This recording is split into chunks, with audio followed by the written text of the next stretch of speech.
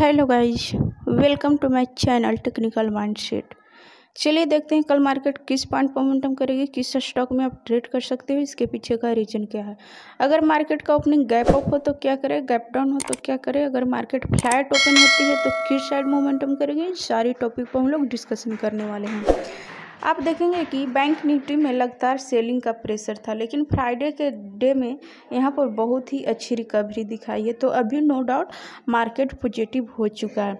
तो अगर कल के सेशन में मार्केट का ओपनिंग पंद्रह हज़ार, सॉरी, पैंतीस हज़ार एक सौ से लेकर के पैं चौंतीस हज़ार नौ सौ पचास के बीच में इस रेंज में कहीं पे भी मार्केट का ओपनिंग होती है और पैंतीस हज़ार एक सौ के क्रॉस करती है तो हम वहाँ पर बाई करेंगे।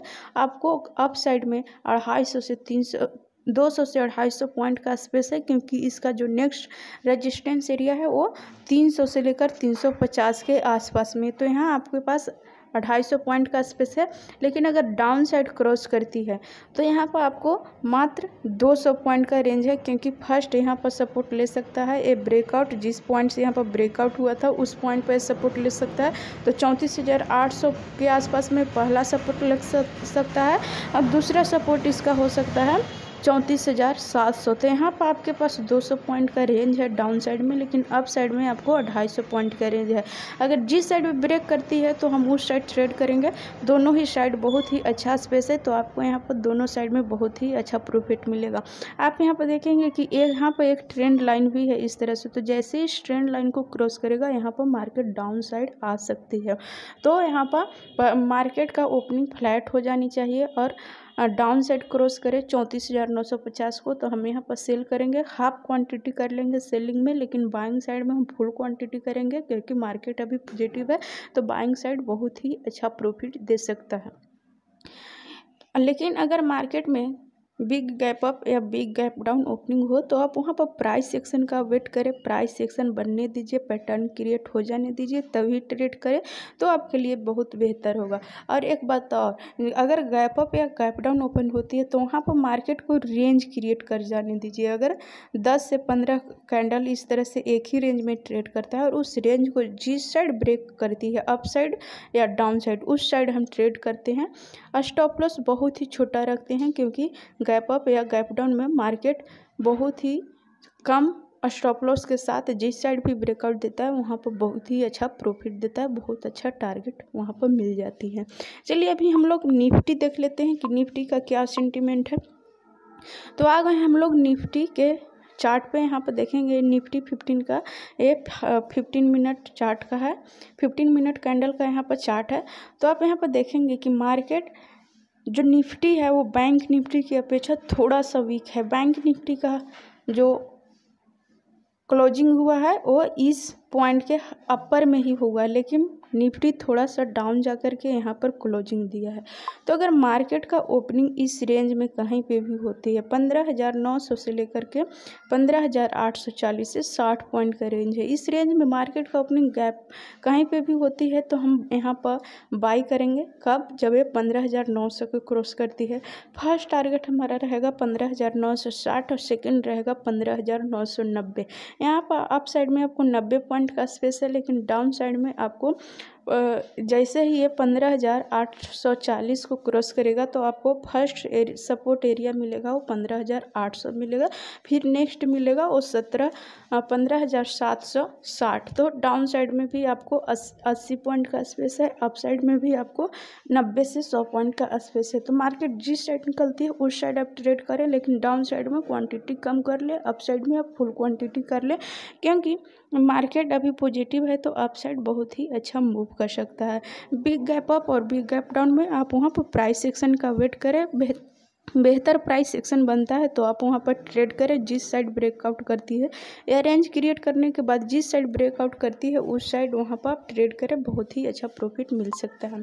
चलिए अभी हम लोग कुछ स्टॉक देख लेते हैं। पहला स्टॉक है D L F D L F में देखेंगे कि यहाँ पर मार्केट अप साइड मूव के बाद इस रेंज का ब्रेकआउट देने के बाद यहाँ पर मार्केट कुछ देर होल्ड किया। अभी इसका क्लोजिंग पॉजिटिव साइड में हो चुका है तो कल अगर ये तीन सौ तीन सौ पैंतीस के ऊपर निकलती है तो हम यहाँ पर बाई करेंगे और स्टॉप लॉस रहेगा तीन सौ बत्तीस का टारगेट आपको अपने एसिल का दुगना। और हाँ इसका ओपनिंग फ्लैट होना चाहिए बिग गैप अप या बिग गैप डाउन में आप ट्रेड को इग्नोर करें। नेक्स्ट स्टॉक है। वो है T S motor T S motor में देखेंगे कि यहाँ पर लगातार सेलिंग आ रही थी।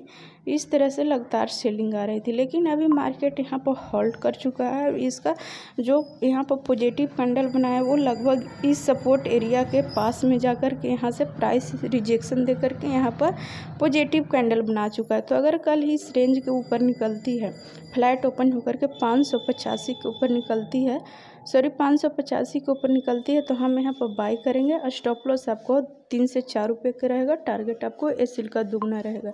नेक्स्ट स्टॉक है, वो है Exide India Exide industry Exide industry में देखेंगे कि मार्केट में लगातार डाउनफॉल हो रही है। इस तरह से लगातार मार्केट डाउन कर रही है। तो यहाँ पर डाउन करने के बाद यहाँ पर दो कैंडल होल्ड कर चुका है, दो दिन मार्केट होल्ड कर चुका है। तो अगर कल ए, एक सौ अठहत्तर के नीचे निकलती है तो हम यहाँ पर सेल करेंगे।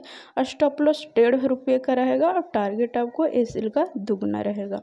नेक्स्ट स्टॉक है U B L E B L में आप देखेंगे कि मार्केट यहाँ पर एक रेंज बनाया हुआ है। ये ब्रेकआउट देने के बाद इस रेजिस्टेंस को ब्रेकआउट देने के बाद मार्केट यहाँ पर वोलेटाइल हुआ है। अभी मार्केट यहाँ पर पॉजिटिव साइन में क्लोजिंग दे चुका है तो अगर कल है चौदह सौ पचास के ऊपर निकलती है तो हम यहाँ पर बाई करेंगे। दस रुपये का स्टॉप लॉस रहेगा टारगेट यहाँ पर आपको बहुत अच्छा देखने को मिल सकता है इस हाई को भी टच कर सकता है। तो आप यहाँ पर ट्रेलिंग स्टॉप लॉस को आ, मदद ले सकते हैं। ट्रेलिंग स्टॉप लॉस को ट्रेल करके यहाँ पर इस टारगेट के लिए भी वेट कर सकते हैं क्योंकि यहाँ पर बहुत ही अच्छा ब्रेकआउट के सिचुएशन में। यहाँ पर अगर कल ब्रेकआउट देती है, चौदह सौ चौदह सौ पचास के ऊपर निकलती है तो हम यहाँ पर बाई करेंगे। बहुत ही अच्छा प्रॉफिट देगा। लेकिन हाँ इसका ओपनिंग गैप गैप अप या गैप डाउन नहीं होना चाहिए। फ्लैट ओपन होना चाहिए। दो से चार रुपये का अगर ऊपर नीचे हो तो कोई प्रॉब्लम नहीं। लेकिन चार से पाँच रुपये के रेंज में ही होना चाहिए तो ही हम इसमें ट्रेड करेंगे। वरना बिग गैप अप और बिग गैप डाउन में हम ट्रेड को इग्नोर करेंगे। I hope you are understand my point of view so hit the like button और अभी तक आपने मेरे चैनल को सब्सक्राइब नहीं किया तो मेरे चैनल को सब्सक्राइब कर दे और बेल आइकन को भी प्रेस कर दे ताकि मैं जब भी वीडियो अपलोड करूँ, उसका नोटिफिकेशन सबसे पहले आपको मिले। Thanks for watching till end